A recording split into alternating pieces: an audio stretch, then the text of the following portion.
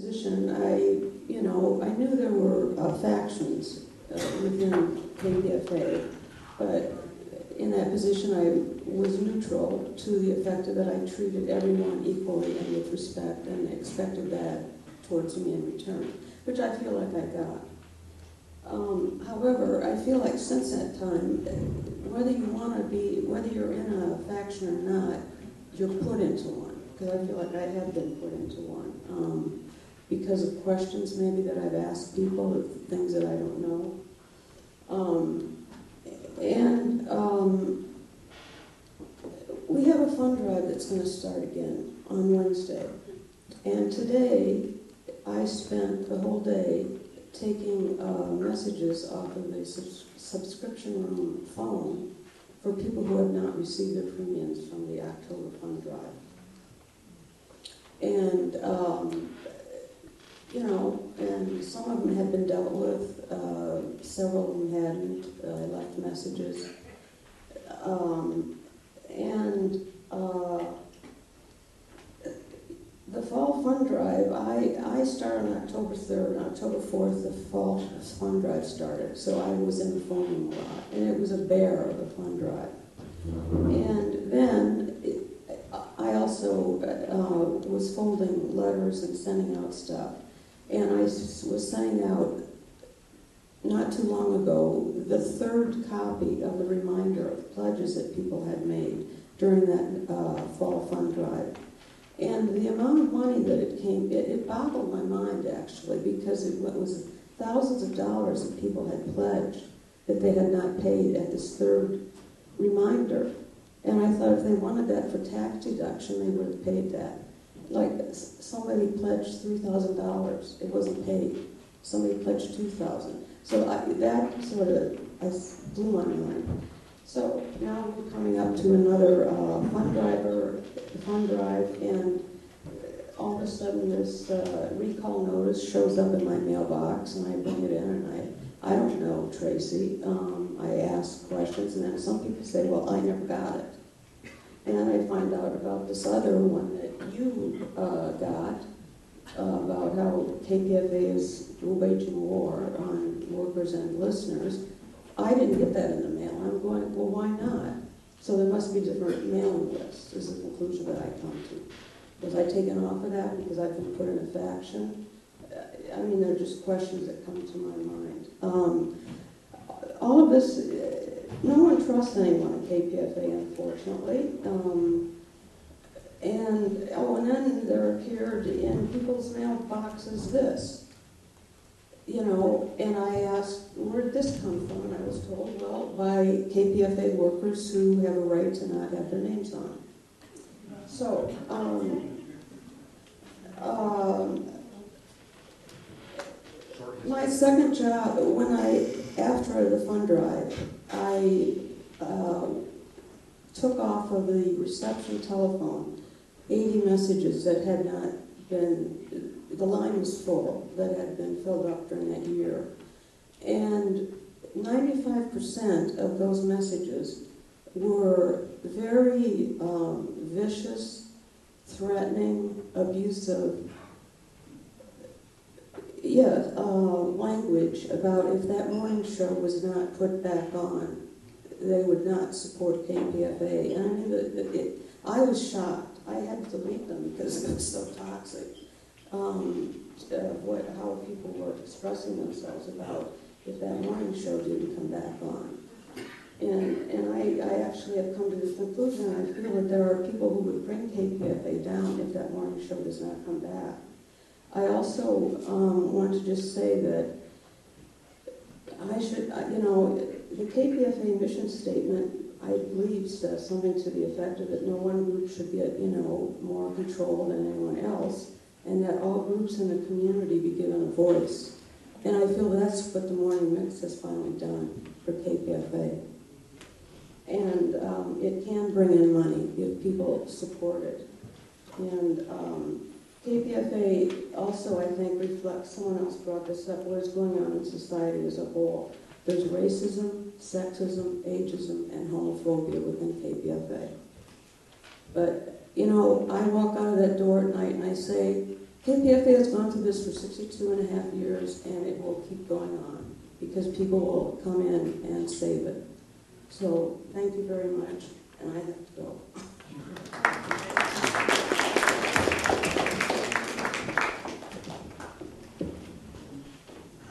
Hi, my name is Dave Miller. I want to mention some facts. Uh, Three election cycles ago, I ran for the KPFA board. Um, During that election, Larry Bensky, who used to be the manager of KPFA and the host of the Sunday Salon, sent out an email um, on a KPFA computer from, with an email list that he created from his work at the station in support of what was then called the concerned listeners, which has transformed themselves into the Save KPFA uh, slate. So, just so you know, Larry Bensky, who worked for the Paris Review, which was started as a periodical, as a cover for a CIA agent, sent an email on behalf of the concerned listeners, Save KPFA group. The election supervisor decided as a remedy for the email that he sent out that the other slates, and I think there was one independent candidate, would be allowed to give a 500 word um, statement sent to the same email list. Larry Bensky, who worked for a periodical that was started as a CIA uh, cover, um, refused to give the password to the email list. And it was the 500 word rebuttal was never sent out. There was never any remedy to the inequality of that election because Larry Bensky had a lot of credit in terms of, you know, listeners because he was a manager of the station, you know, had worked on things like Iran Contra, you know, anytime there's some sort of hearing, he's, you know, so he has a lot of credit with listeners. And, um, but he refused. I, I never heard anything from the concerned listeners, Save KPFA people, then, oh, we need to have an election because it was, it was, uh, you know, it was compromised. Never heard a word from them. Um, another point, KPFA is in the commercial bandwidth. As a listener-sponsored station, it's not worth very much. As a commercial station, KPFA is worth tens, if not hundreds of millions of dollars. I've heard as high as half a billion dollars. Now, I hear on the radio these Save KPFA people saying, oh, well, KPFA should separate itself from Pacifica. Well, what happens if KPFA separates from Pacifica and goes bankrupt? Who then has ownership of the station? And they can do whatever they want. They could turn it into a commercial station and boom, cash in.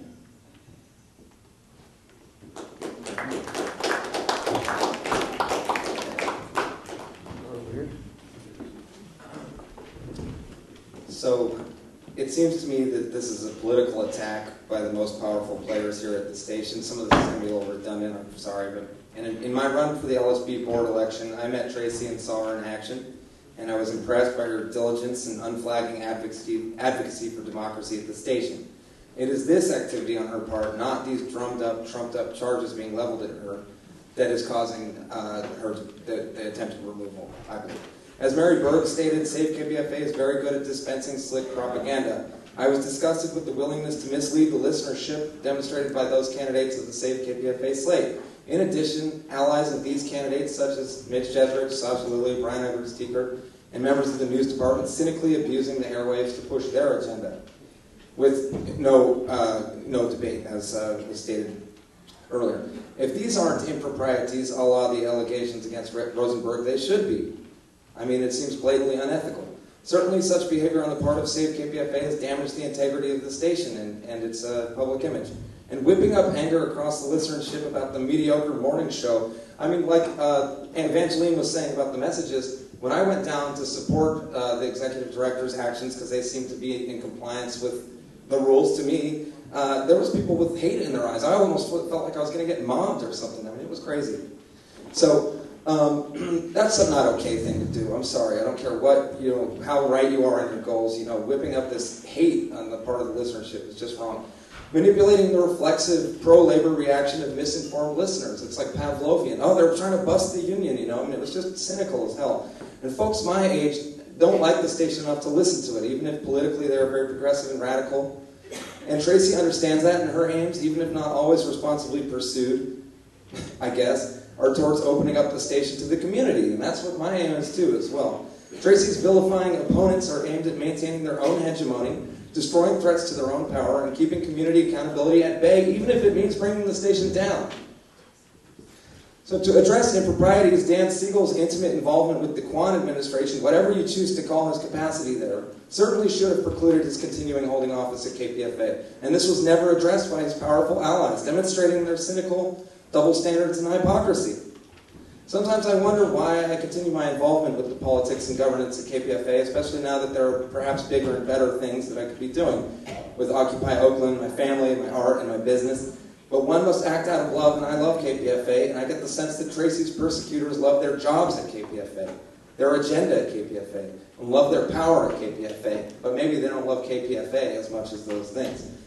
The purported drop in fundraising, I spoke about that earlier, I think is attributable to the PR war waged against the Pacifica Network by Save KPFA. The morning show was pretty mainstream and obnoxious, in my opinion. I stopped listening when my wife pointed out it mostly consisted of Aimee Allison telling me I had to get on Facebook every fucking morning. I don't need to hear that shit. That's what I read the Oakland Tribune for or something. I don't know. I don't know how much weight you guys are putting on this $100 dinner that Tracy treated the executive director to. Uh, now, it was mentioned earlier by Kurtzhoff. If you like to eat fine food in the Bay Area, it's pretty damn easy to spend 100 bucks these days. I wonder how much the Hallinans rack up when they do the town with their crumbs.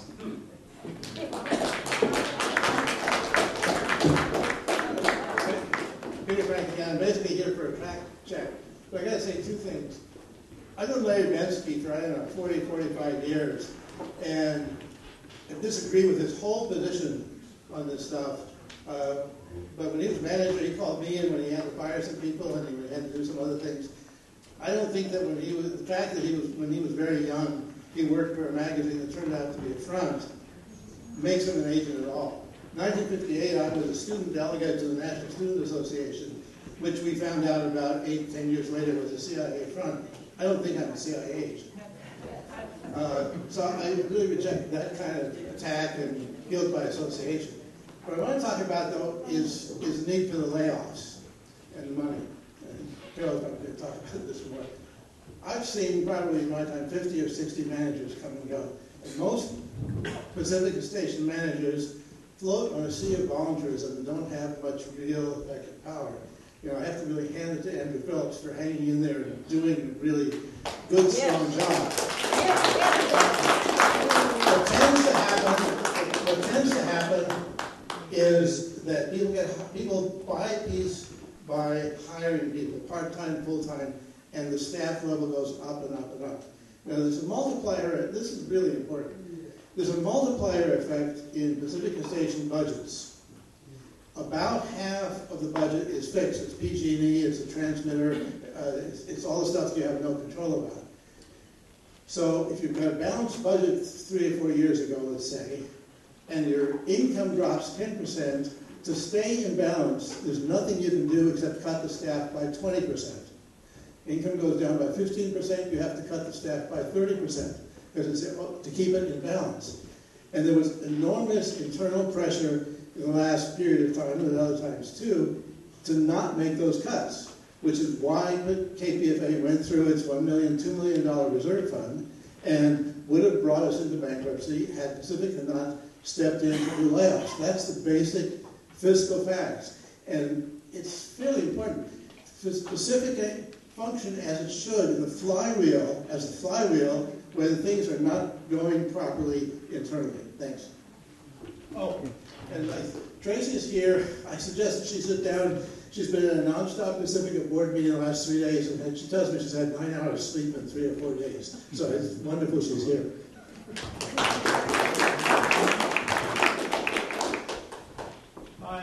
Keith Barton. Uh, I just want to suggest that maybe the problem is not in Berkeley, uh, that it's in New York, and that the problem is that uh, WBAI is, is uh, soaking up all the funds and not generating very much, and that's what's putting KPFA under the water.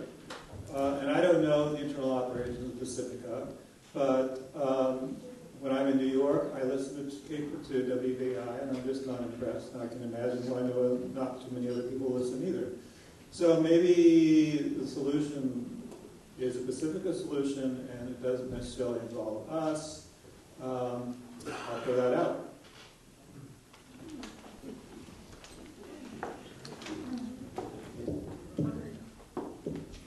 Hi, everybody. My name is Tracy Rosenberg. Um,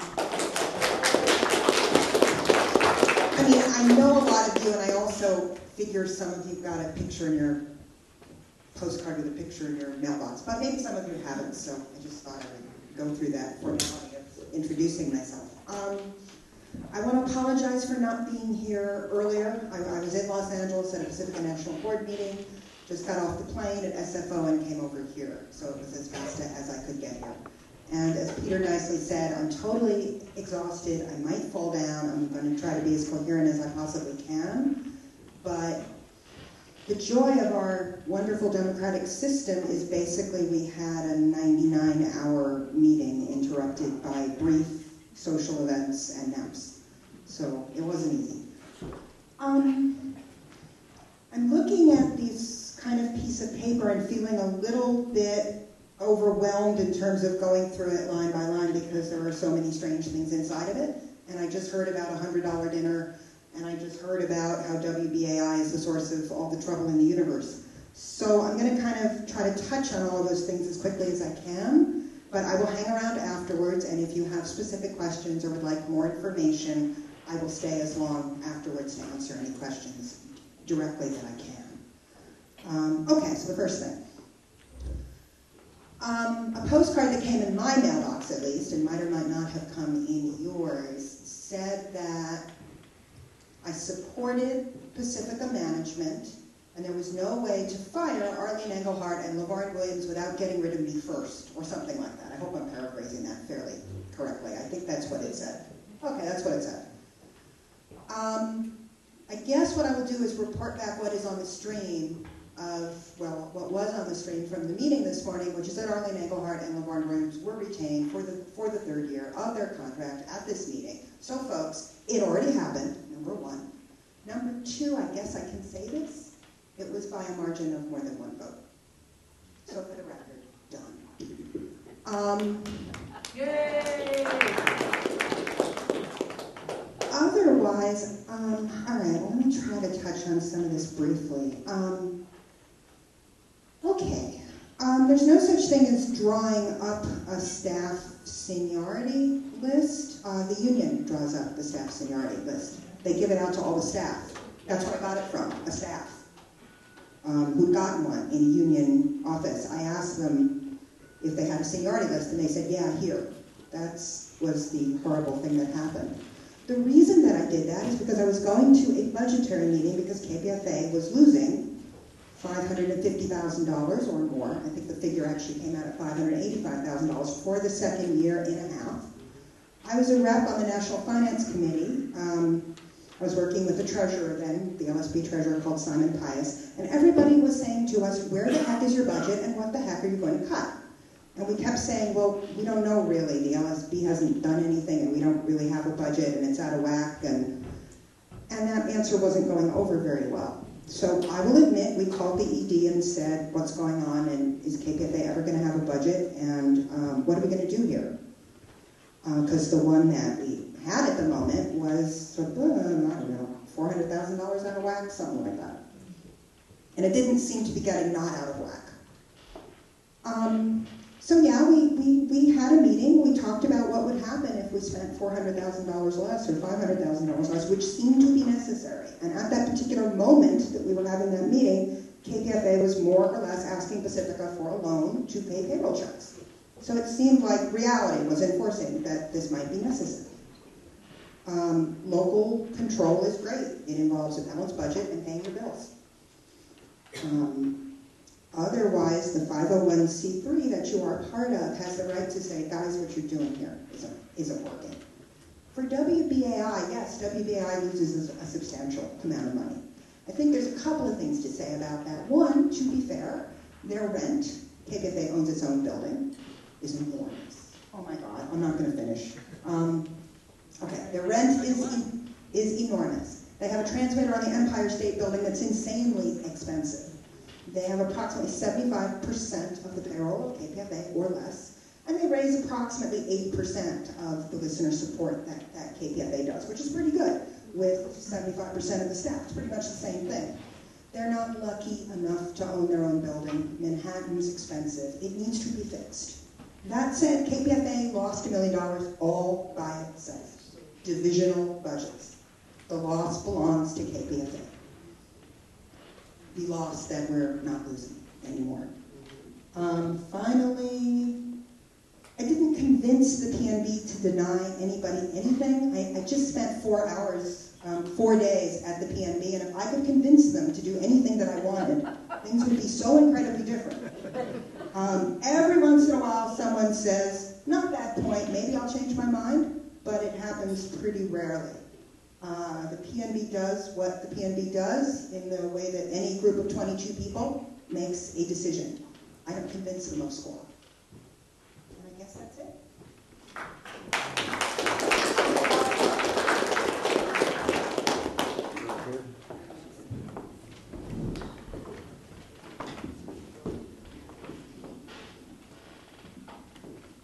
Hi, I'm Carol Spooner, and uh,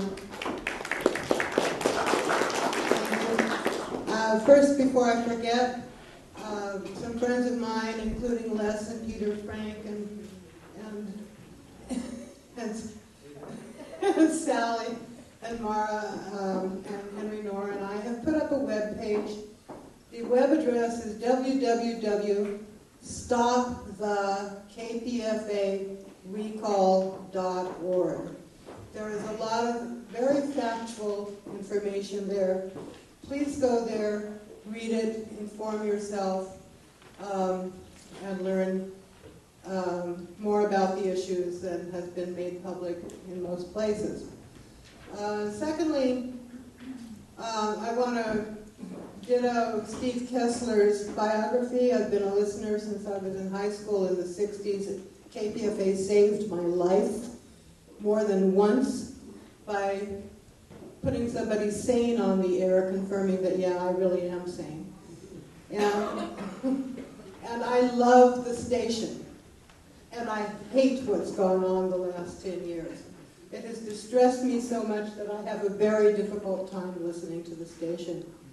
Uh, my idealism was shattered. I believed for many years that these people on our air that I was sending my money to dutifully really believed in peace, dialogue, bringing people together, understanding the causes of conflict, and working things out.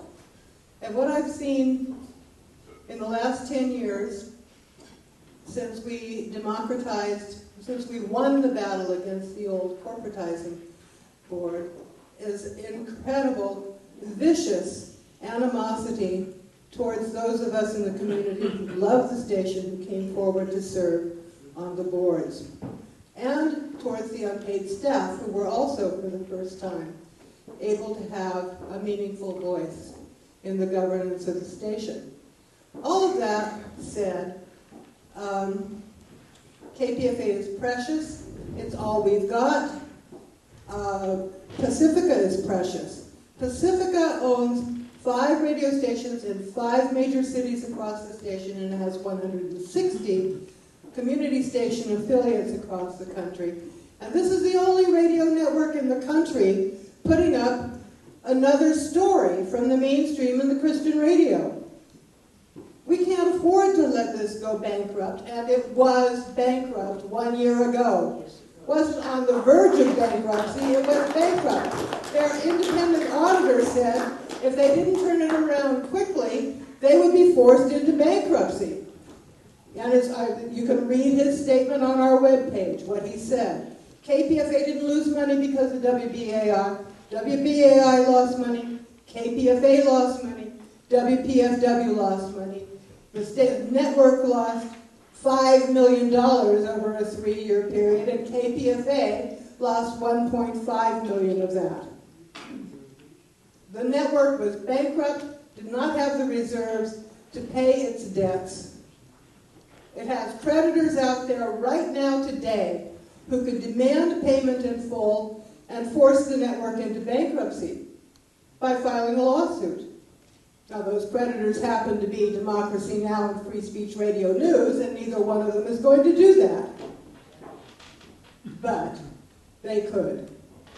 Because Pacifica doesn't have the money to pay them today what they owe them today. All right, so what happened? In the fall of 2010, faced with this situation, Arlene Engelhardt called a meeting.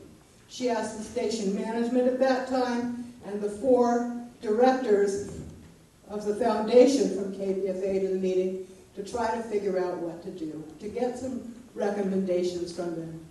The recommendations were one, cut flashpoints and hard knock radio, or two, let's look at the union seniority list. Arlene didn't do either one of those. She offered all of the station staff a a voluntary layoff package. And after they took that layoff package, she looked at what was left and whether they'd cut enough, and they still had not quite cut enough money. She cut the morning show staff because of all the program hosts on the air. Those two had the least seniority, less than everybody else. Was it a good decision? Would I have made that decision? I really don't know. I honestly don't know whether I would have made that decision. But it was a, it was a rational decision based on looking at the union contract.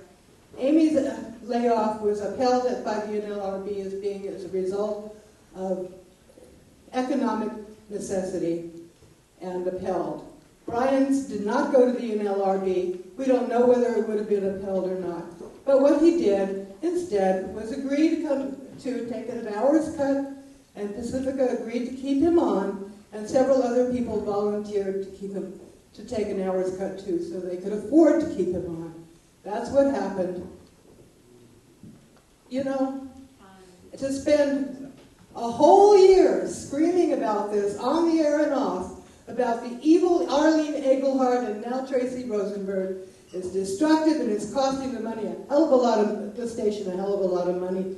People are sick of it. Thank you.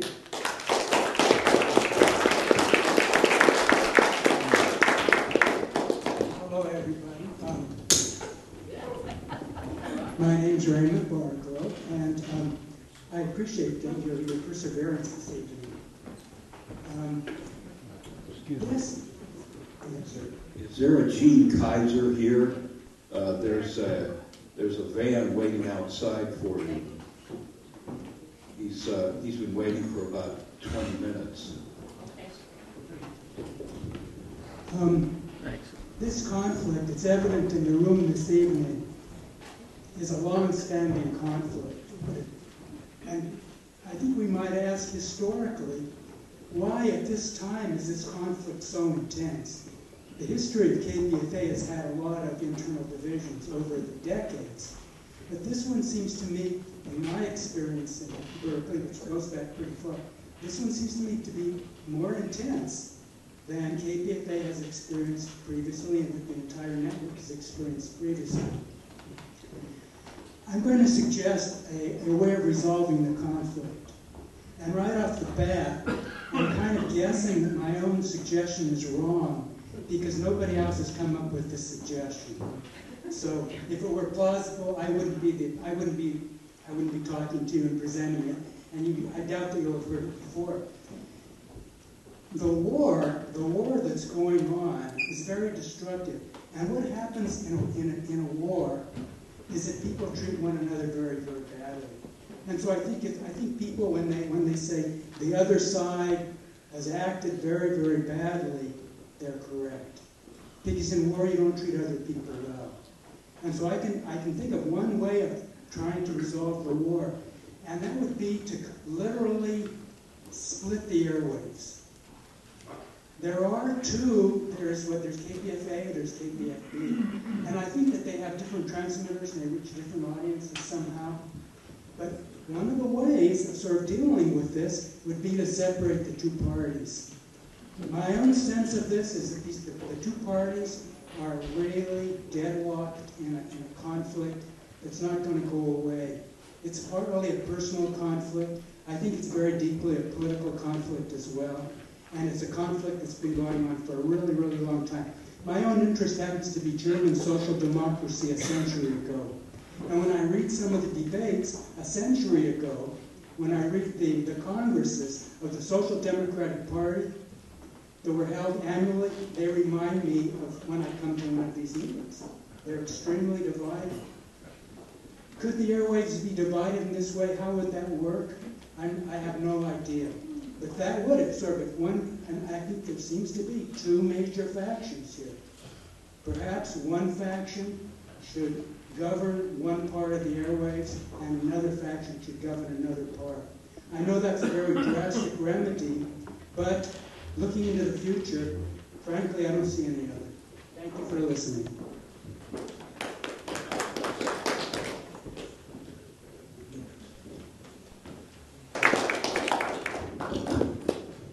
Um, I, I just wanted to answer one thing about the, the so-called taking off of the morning show. Uh, there was, and I saw a memo from the, the union, CWA union, saying that any layoffs had to be done.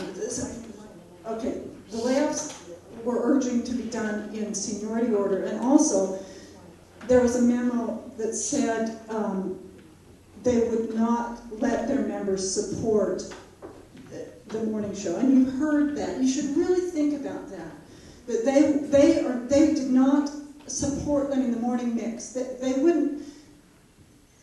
Engelhardt had uh, planned to keep the morning show going, but the senior union, so-called union, it isn't. You know, a lot of things are happening in union movements these days, where lots of bureau, bureaucrats and unions are opposing themselves to rank and file. In this, so you know, just because it's a quote union, it, most of the staff at KPFA is not represented by this small group. But these long-time people that have been there for many, many years put out a memo that I've seen, I have seen, that said, and it's on Indybay, you can see a scanned copy of it too, that says that they weren't going to support the morning mix.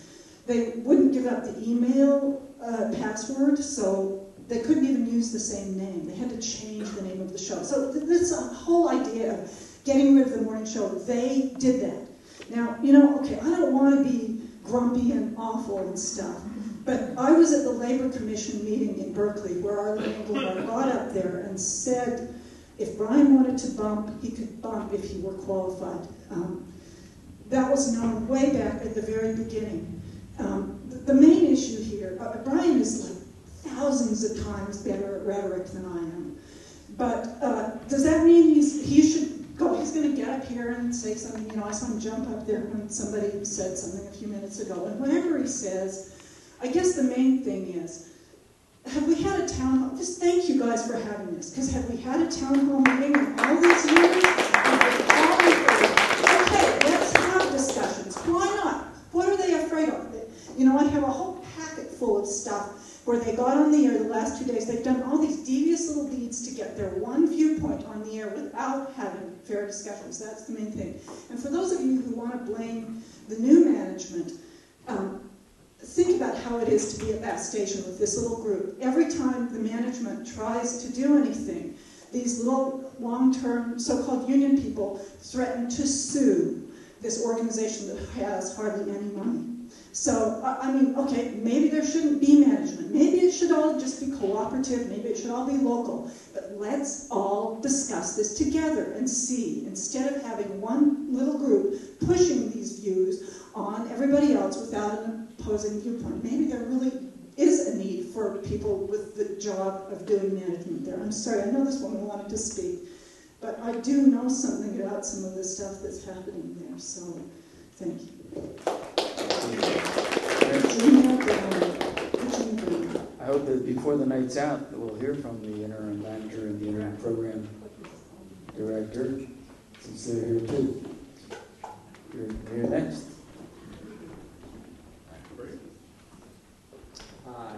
My name is Peter Dumont, and I'm coming from a little different perspective, I think, than uh, most of the speakers. Uh, being a peace philosopher and a nonprofit founder, I brought a visual aid. So let me put that up first.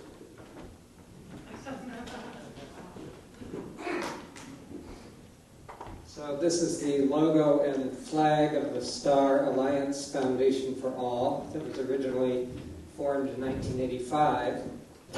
And uh, we've been holding a vision and gradually, gradually gestating and developing it uh, philosophically. Uh, but I really have to share my excitement uh, to have a world uh, that does come together. Uh, what attracted me to this event was the title Truth and Unity Forum. Truth and Unity. Now, those are very beautiful ideals, but when you try to unify any society, you have to have something to unify around, or that, that's kind of above the conflicts that are inherent and natural to any situation with a group. So uh, we take the human hand as our model, and this this logo, if you see the natural correspondence with the hand, uh, for those who can't see, maybe the radio listeners, but five stars in an arc with a rainbow that unifies the stars with that uh, that image, and then uh, also comes down to rays that come to a point with a heart. So it's very much like the palm of the hand and the diversity of the fingers. And there are 30 bones in the hand, so maybe there could be about 30 primary peace principles that could unify society. Uh, things like integrity, truth, um, uh, things like uh, commitment to conflict resolution that's prompt and relatively respectful instead of so painful and protracted because uh, KPFA is not alone.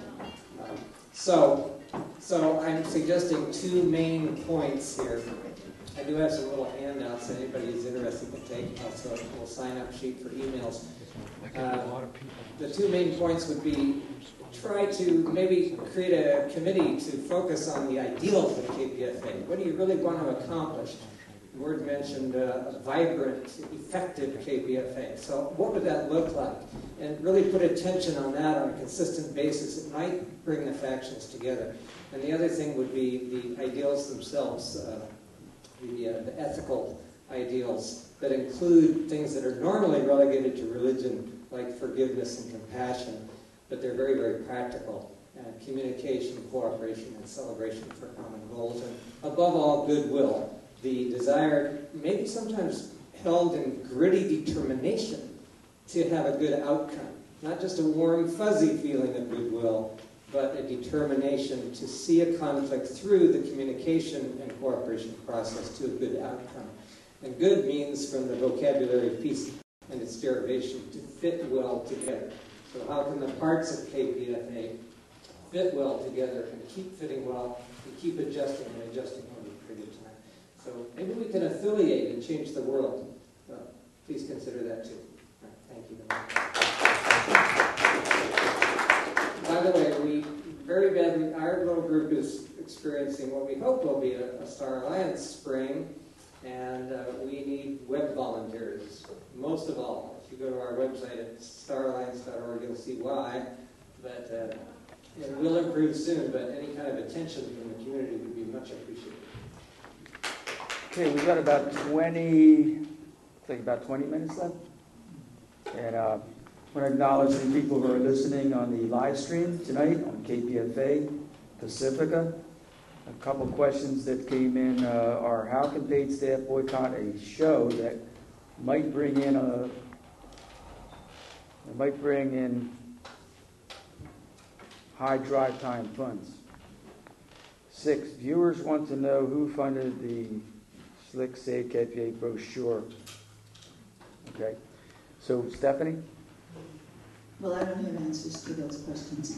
Um, my name is Stephanie Miyashiro. I actually come sort of as an outsider. I like KPFA a whole lot, not everything about it, but I've been knowing a few people working there and listening very hard to the different stories and realizing, yes, the description dysfunctional family sounds like it really fits.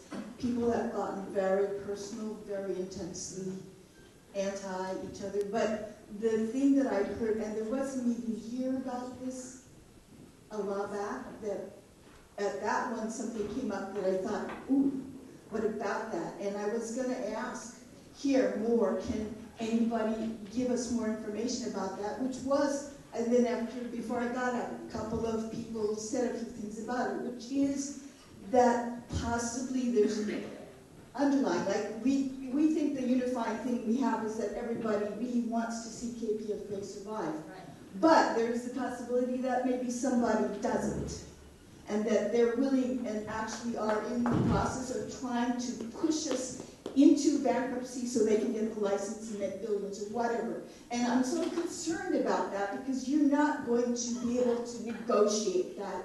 You have to face that straight on. It's sort of like Occupies it, saying we're not going to try and bring the 1% in and give them their half space of time on our forum. They're saying we want to create our own and own it, and um, and you know, and the one percent can go do their own thing with their own money and whatever. But you have to get outside of their system and outside of their box and outside of their control to do that. As long as you're playing in their thing, like the idea of what is this like 9/11? That the fact that they got a Republican and a Democratic group together to make a commission report that was supposed to make it fair, but it was a bullshit report.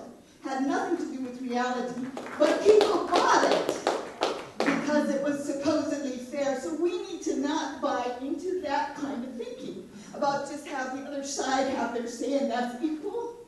It's really not that.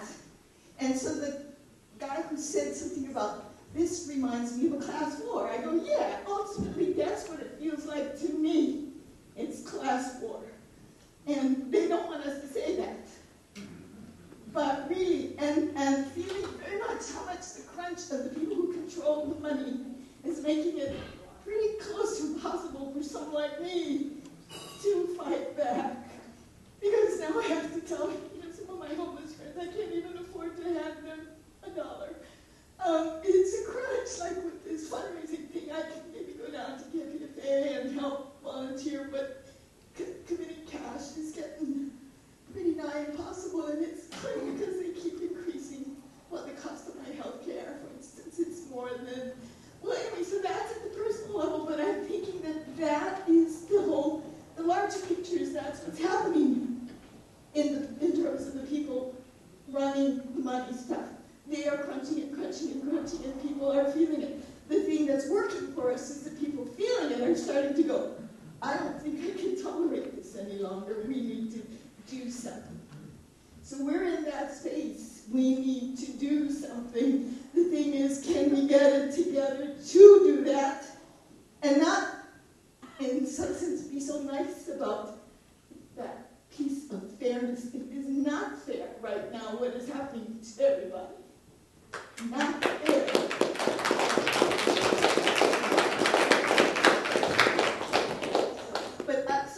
question I had was, can we look at that? Because if it looks like what's the crunch is that we don't have the money, can we get ourselves together to pull that in? It is about pennies from millions of people coming together to be enough to stand up. In some ways, it's got to be that. And finding, I'm trying to figure out a way to live without money. You know how to do that? Grow your own food. I mean, it's that sometimes. But um, so and that's what they talk about again at the Occupied. Some of the kids are out there saying, I spent a year living off the land, See if I can survive in the woods without money. You know, that's, I'm listening out there. I've. This is for the Occupy Meeting Project. You know, I mean, it's, it, it is really important. That's the other piece about dignity. Because what I see in the media press does not give the story. They're not out there. The newspaper is bringing people to speak who are there, who are part of the group. So you get to hear. And if you're not out there, and I think a lot of people don't get to go out. I don't get to camp, but I do get to go hang out and listen. And so it does feel like I get a whole different story from what's out there than what the press gives you. Or I guess people can get maybe some of it online. But no major conclusion. I, that was my question. Can, is there more information about that piece, about what that piece might be, the, the funding crunch, and whether there are people who really want to see KPP down, and those people you do not negotiate with. You just have to set your limit and tell them, no, you don't get to do this, and we're going to come up with the funds without you.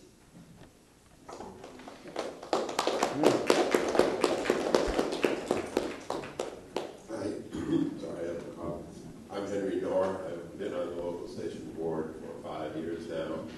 For me, as Carol was talking about, it's been a difficult and in a lot of ways very depressing experience.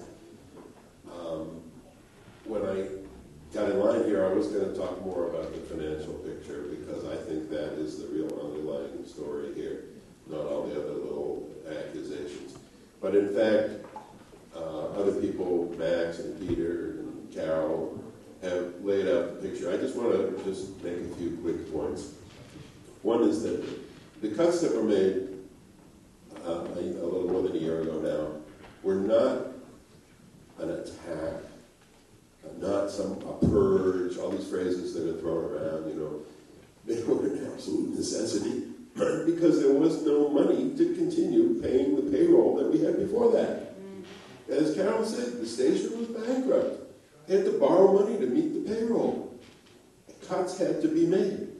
The union contract says they should be based primarily on seniority. Now, I personally wasn't involved in any of the discussions about how all that came down. I have some criticisms. I think there could have been more, more communication, perhaps with the staff, certainly with the listeners. Perhaps there could have been a, you know, a candid description of the financial situation and an emergency fund drive. And there are a lot of things in hindsight that I think maybe could have been done differently.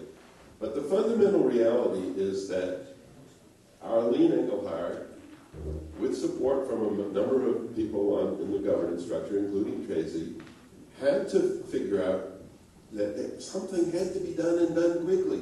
Because otherwise, KPFA would have gone under, and because Pacifica legally and financially is all one entity, the whole network would have gone under. Nobody else in the network has reserves. We've blown through our million dollars in reserves. If something hadn't been done at that point, the whole damn network would have gone into bankruptcy. We would have lost all these stations and all everything we value about it. And we would have lost a lot of a lot of difficulty and uh, horrible things too, frankly. But we but all in, all in all, we're here because we know there's so much that's so wonderful and important about it. And that would have been gone if if if cuts hadn't been made. And cuts had to be made to the staff because most of the budget goes to salaries and benefits. There is no way to, to make the kind of cuts that were necessary without cutting into, into the payroll. Um, just a couple of other quick points. Um, as a board member, I, I uh, have the honor of getting the, um, my mailbox filled every few days with hundreds of messages that uh, the Safety FA, Safety FA group has solicited, and then they forward one by one to all board members instead of putting them all together in a more convenient form. um, and, um, you know, I actually try to read them. I don't necessarily read all of them, but I read a lot of them. and what I see over and over again is most of them take the form of, I want this, I like that, these guys were good, hardly any of them talk about how the hell are we going to pay for them, and who else are we going to lay off if we if if we can't afford them? What else? Who else are we going to cut? You know, people think it's their you know that it's all a matter of somebody's personal preference. It's a matter of, of absolute financial necessity, not even prudence or manage or you know responsible management. It just wasn't the money to keep on paying. So that had to be something had to be done something drastic. It was ugly. It was unpleasant. You know, a lot of people, you know, had, different opinions about the morning show. But if you value KPFA, you have to acknowledge that serious cuts had to be made, and they had to come out of the payroll. Okay, last last point. I got my one minute. You know, this has been a long evening for us. I just want to, on a personal note about Tracy. Tracy spends countless hours, I don't know how many days of the week, on, on these bloody Pacifica conference calls. If those of you haven't had this experience, it's really something horrible. You sit on the phone for hours on end with people from all over the country. Most of them hate each other. You know, things are ugly here, they're ugly everywhere else. Some maybe not so ugly, maybe more ugly, I don't know. But then you put them all together on one phone call, and everybody's at each other's throat. And Tracy, and every every station has, is in financial crisis. Again, some more, some less. Tracy's on the National Finance Committee. She has been for I don't know how many years. And she sits through these endless meetings struggling to keep this damn ship afloat. You know, and uh, it's easy to take pot shots, but I don't know anybody else. Certainly, I haven't done a fraction of what she's done.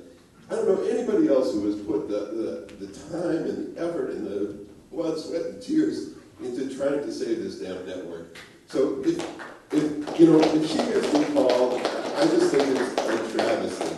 It's, a, it's just a betrayal of everything that we've tried to do with this network.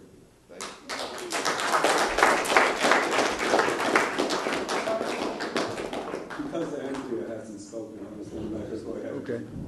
Okay. I actually asked to, to be put in the queue about ten or fifteen minutes ago because I'm over here with the timer. Who'd you ask? Where do you, where? I asked that guy right there. Didn't I? Didn't I ask? Yeah, I said I was behind you. You think so? Okay, I'm well. willing to let both of you go ahead since you haven't spoken before. All right. Okay. Okay. I think we could, people can, if they could cut down their minutes and we could go a little beyond ten You want to cut them down like three minutes maybe and try to keep going a little bit Yeah, over? maybe the people. How about those who've spoken with three minutes, those who haven't spoken get five minutes? And but let's, let's get everybody who's talking, everybody's within the line. Is that good? Uh, how the people feel? If everybody, if someone hasn't spoken, Yeah, oh, uh, hi, my name's Rick Sterling, longtime listener, I'm also active in the KPFA Outreach Committee. And a few, uh, I'm really, I've worked hard for KPFA as a volunteer in the Outreach Committee, where we've brought hundreds of new listeners to the station.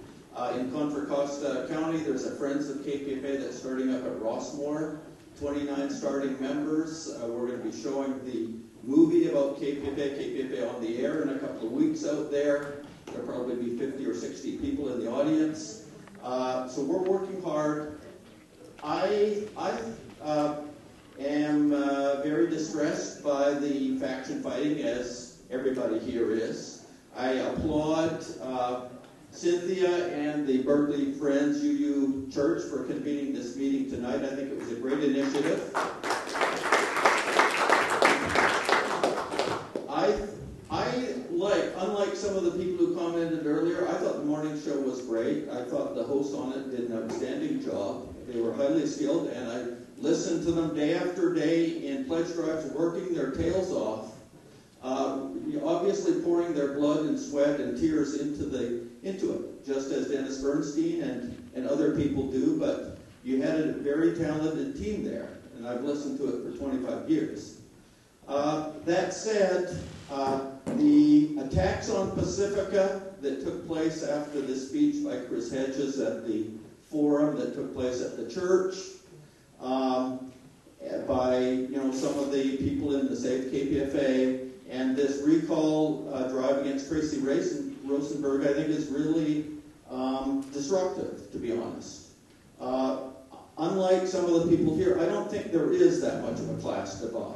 I think I think the, the people on, on, with Save, Save KPFA are pretty much on the same same wavelength. We've got some differences, or there are differences, uh, different approaches to some things. Um, I like some of the stuff on the morning mix, some of it uh, not so much. But in any event, uh, I would like to see, earlier in the discussion tonight, we had a couple of people suggest mediation. And I think one way or another, it would be a really good thing to have to convene uh, different people from the different sides and see if there isn't a way to resolve this without a, a, battle to the death. Uh, I talked with Walter Turner back uh, six or nine months ago and raised with him the idea of can, trying to gather some highly respected, neutral, uh, progressive people from the area uh, and just have people sit down with these people, let them underscore to both factions how essential KPFA is and how we cannot see it be driven into the ground or seriously damaged. So, uh, mediation with a mediator, mediation with a panel of, you know, widely respected, independent, semi-neutral, progressive people, uh, one way or another, I think the best thing would be to do something like that. Try to heal the wounds and make it stronger because obviously we're entering a new era where KPFA is going to be needed even more than it has. Thank you.